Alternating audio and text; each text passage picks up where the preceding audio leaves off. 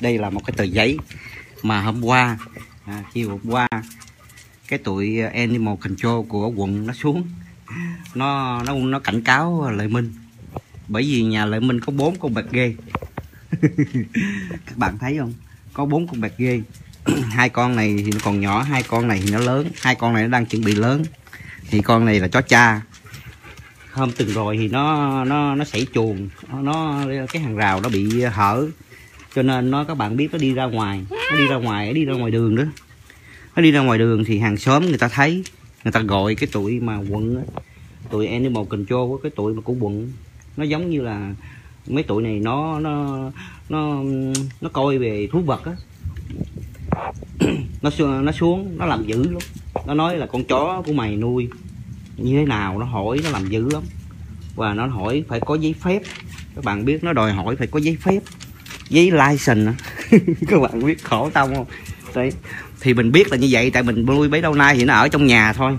Nó không có đi ra ngoài tại lâu lâu cái nó bị cái cửa rào cái cửa cổng á nó nhảy ra thì các bạn thấy. Đấy, nó nếu mà, mà lợi minh mà từ đây nó cho lợi minh từ đây cho tới 9 tây tháng 9 tây tháng 10 mà không không đi xin giấy phép cho bốn con chó này nó có thể đưa lợi minh ra tòa. Là mỗi một có thể phạt tới 300 đô mỗi một cái mỗi một con như vậy. Các bạn thấy mỗi một cái cái vụ như vậy. Thành ra bây giờ phải ờ, đi ờ, xin giấy phép rồi phải đóng tiền này tiền kia. Các bạn thấy luật pháp ở mỹ nó rất là có không phải như việt nam của mình. Mà những cái thành phần mà chống cộng cực đoan ở bên mỹ tụi nó lúc nào cũng kêu gào. Ờ, dân chủ nhân quyền thế này thế nọ. Và những cái pháp luật nó muốn phải áp dụng giống như việt nam vậy các bạn biết ngày hôm qua mà tôi phải cãi lộn với cái thằng mà animal control đó. tại vì nó lại nó tôi nói là tôi cũng xin lỗi. Tôi nói là tôi xin lỗi là con chó tôi nó bị ruột ra ngoài. Mà tôi bắt nó lại được. Nó làm dữ lắm nó đòi phạt tôi tới ba cái tiết ticket nó nói là tôi ờ, để chó ra ngoài.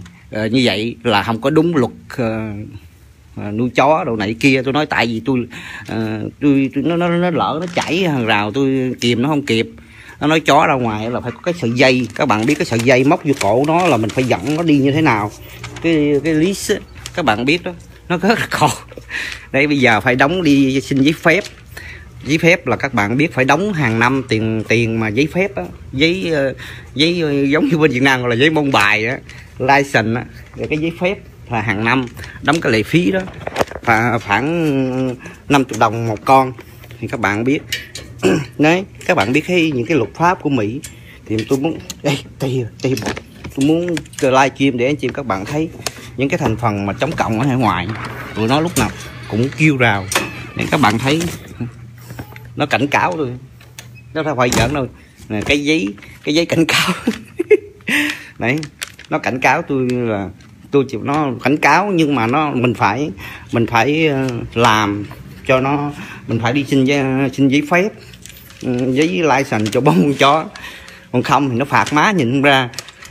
Các bạn thấy luật pháp ở mỹ các bạn thấy không? Những cái điều luật và điều lệ ý là tôi nói về con chó thôi đó. Các bạn thấy con chó rồi đó. Mà nó đã căng như vậy rồi. Ngày hôm qua gặp cái thằng này nó cũng cà chớn.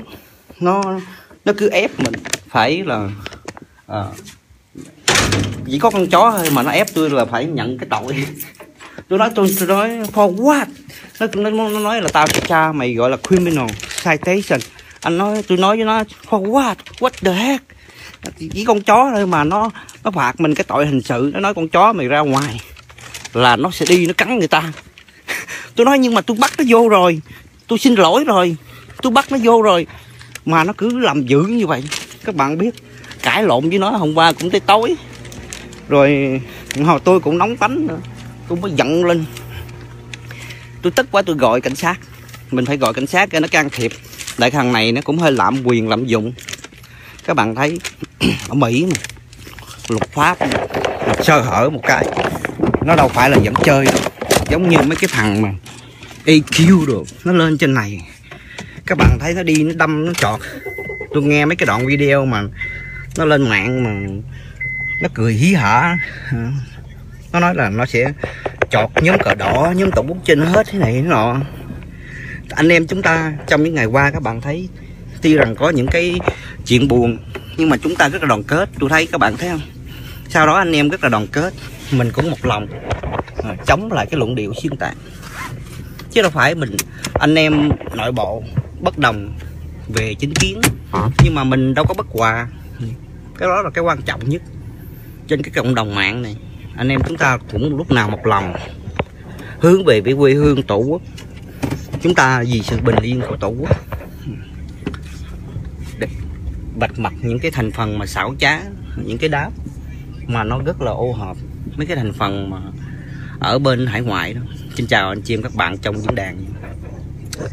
Cho nên lại minh muốn chia sẻ với anh, anh chị em các bạn thấy đó những cái mà mà luật lệ ở bên mỹ mà những cái thành phần mà chống cộng cực đoan đó.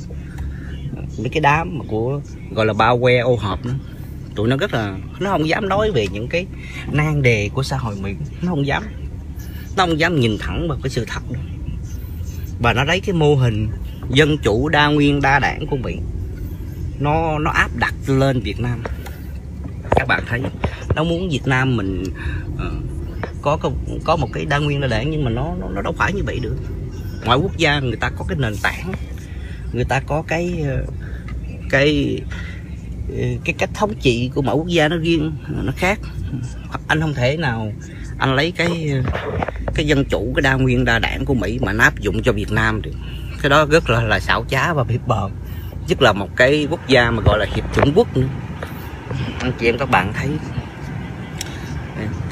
các bạn thấy ở mỹ mà cái gì nó cũng đâu qua đó, hả?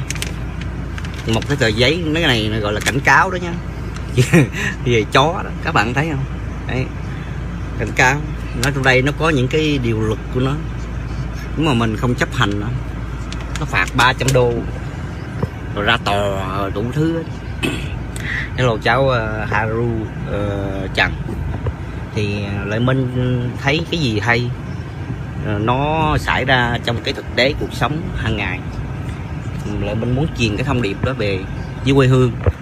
Để chúng ta cùng nhau mà tìm hiểu. Ừ, các bạn thấy Mỹ mà, cái gì nó cũng có. Tôi nói ngay cả xây xây một cái hàng rào hay làm bất cứ cái điều gì cũng được. Ừ, cũng phải xin phép. Mình làm mà không đúng cái tiêu chuẩn của nó nó phạt mình đấy. Nó nói cho các bạn biết. Ngay cả cái thùng rác. Cái thùng rác cũng vậy. Các bạn thấy cái thùng rác ở bên Mỹ cái gì đó là mỗi tháng gì đó là phải đóng 50 đô. Cái đó là rẻ đó nhé ờ, bây giờ bữa nay lên 65 đô rồi. Các bạn biết cái thùng rác đó mình cũng phải đóng trả tiền lại phí hàng tháng. Một tháng 55 đô chứ. Tôi nhớ lúc trước, lúc trước lâu rồi là, là 55 đô rồi. Tất cả cái gì nó cũng cũng phải có một cái luật của nó. Các bạn thấy một cái hàng rào như vậy mình xây lên đó là mình cũng phải xin phép. Mình chỉ xây được bao nhiêu cao thôi chứ không phải giống Việt Nam uh, ai muốn thích xây cao cỡ nào thì xây có người thì cây xây cao ờ, 3 mét 4 mét. Và họ muốn xây thì sao? Xây. Còn bên Mỹ các bạn biết ở đằng trước chỉ xây rồi. Ở bên này là 4 mét. Ở mé đằng sau là ở bên lộn 4 feet. 3 feet ờ, hình như là một mét thì phải. Khoảng đó đó khoảng đó các bạn cứ nhớ như vậy còn đấy mé đằng sau thì chỉ được 6 feet thôi. Nó không có được uh, gọi là uh, vượt qua. Nên các bạn nếu mà làm không đúng là nó phạt nó bắt đập xuống. Hồi đó là tôi xây sai. Tôi xây mà chỉ sai một cái ranh giới có chút xíu thôi, các bạn biết. Hồi lúc trước tôi xây, nó sai một cái ranh giới chút xíu thôi. Là tôi, nó bắt tôi phải đập xuống nè. Cái đống sắt dụng, cái đống gạch mà tôi ghét tôi để cả hai chục năm nay rồi không thèm dọn luôn. Các bạn đấy, phải đập xuống. Nó bắt phải đập xuống. Tôi xây mà kỳ đó, cái thằng mà thợ nó xây nó xây sao lúc đó, hồi đó hai chục năm trước mình sơ ý á các bạn biết ừ, đâu phải là rẻ đâu. Nội không xây lại là tốn 5 ngàn đô chứ không phải ít đâu. Rất là tốn kém phải đập xuống làm lợi. Mỹ mà. chứ không phải Việt Nam nữa. À, là muốn làm gì làm nữa các bạn thấy những cái luật lệ tôi nói về về mô hình của dân sự thôi là nó đã có những cái sự khó khăn cái sự đâu qua đó vậy này đường xá các bạn thấy. Đây như là đường xá này đây là những con đường, gọi là đường tư, đường mà nó thuộc khu ờ, mình ờ, mình ở đó. Các bạn biết mình ở, mình về đây mình ở là mình tự xây. Thì hàng chính phủ nó nó đâu có xây đường đâu. Tôi ở đây hai chục năm mà chung cái miếng đất này nè, cái khu này là khu ngoại ô. Các bạn biết hai chục năm nó đâu có xây đường. Tại vì mình thằng chính phủ nó đòi hỏi phải phải nhà cửa mọc lên thật đủ hết rồi cả cái khu này phải đóng thế cho nó, đóng thế cho nó thì nó mới xây đường lên cho các bạn đi. Các bạn thấy không? Ở ở ở bên mỹ, có nhiều người ở trong nước tụi dân chủ cụi hay những cái thành phần mà chống cộng cực đoan. Lúc nào nó cũng hô hào những cái khu vực miền sâu, miền xa rồi. Lần khi nó thấy những cái người dân, người ta sống, người ta phải lội rừng, lội suối, lội sông rồi bùng lầy, nó đem những cái hình ảnh ra. Nó phê phán và nó nó nó nó tìm cách nó chống phá và nó mị dân. Nó nó nó làm cho những người mà nhẹ dạ cả tin đó. Nó làm cho những người nhẹ dạ cả